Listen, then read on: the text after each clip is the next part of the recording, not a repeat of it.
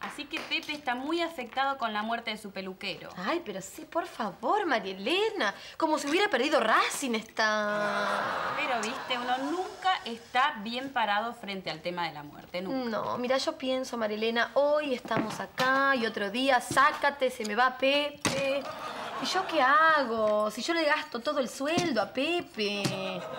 Bueno, sueldo, el sueldito que tiene. Bueno, pero si Pepe fallece, te queda su seguro de vida, ¿no? Seguro que no. Pepe no tiene nada en vida, va a tener en muerto. Ay, Dios mío, si fallece Pepe, ¿qué hago? ¿Trabajar? No, chicos, boludeces no. Bueno, pero podrías. Volver a casarme. Sí, yo lo pensé también, pero no, ella conoce mis olores. Además, ¿quién va a soportar mi sarpullido pélvico? No. No, yo no sé, yo pienso, si Pepe fallece, ¿yo qué hago? ¡Pepe, te odio!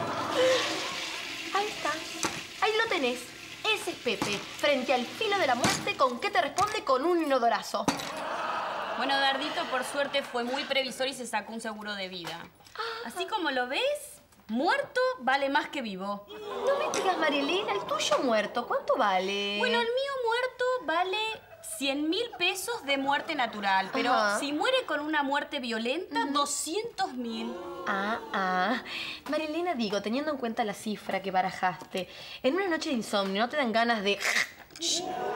Bonnie, Ah. ¿no hace calor? ¿Qué calor, no? Ah, sí.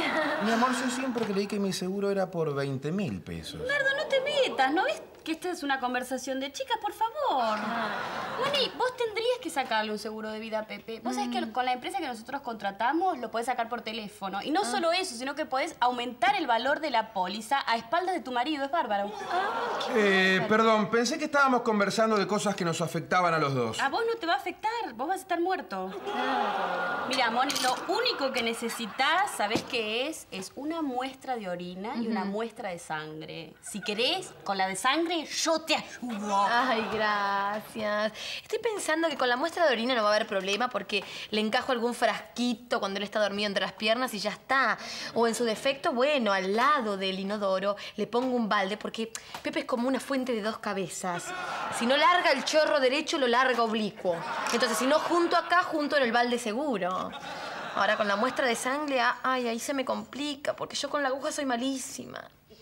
Ahora, teniendo en cuenta la cifra que me barajaste, y bueno, si hay que clavar, clavo. Ya te dije, yo si querés te ayudo.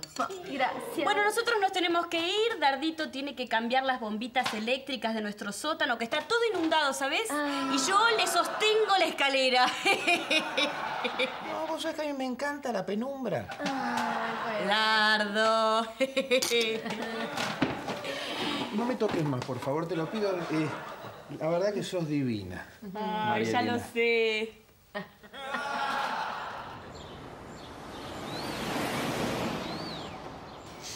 Chiquitos míos, así como lo ven, vale mucha plata. Muerto, ¿eh? ¿Te parece? ¿Estás segura, mamá? La verdad, no. Pepe, ¿cuándo te pensás cortar el pelo? ¿Te lo vas a cortar sí o no? Lo decidí, no me pienso cortar el pelo hasta que no encuentre un peluquero como la gente. Pepe, por favor, estás así hace tres meses. Anoche me diste miedo en la cama, te digo la verdad, tenés los pelos de la nariz tan largos que cuando roncabas era como un trombón el sonido, ¿me entendés? Tuve miedo por un momento que engancharas a uno de los pibes y te lo mandaras para adentro. Ah, Papucho, en serio, afloja un poquito. La, la gente del barrio ya comenta que ese- esos pelos de la oreja se enrollan con los pelos de la cabeza. Yo les quiero preguntar, ¿a ustedes les gusta que... ¿Qué creen? Que a mí me gusta tener esta melena, que me gusta tener el pelo largo. No me gusta tener el pelo largo. Y ahora este invento los estilistas es por culpa de las mujeres. No sé, no me pueden ayudar, son mi familia. ¿Estás seguro? Papito, no nos podemos acercar a vos. Nos vas a pinchar con esos pelos que tenés en la nariz. Sí. Papucho, esos canutos son asesinos. Ya está, ya está, ya perdí. Ya me sacaron todo. Me sacaron todo y me queda esto nada más. Yo creo, chiquitos, que está hablando de nosotros, ¿eh? Lo decidí.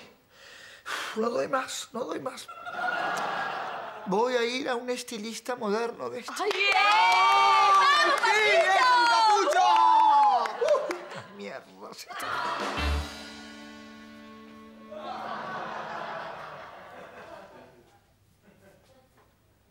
Buenas tardes. Adelante. Mis chiquitos, papito volvió a valer nada nuevamente. Los del seguro, cuando se enteraron que era argento y que encima vendía zapatos, me negaron la póliza.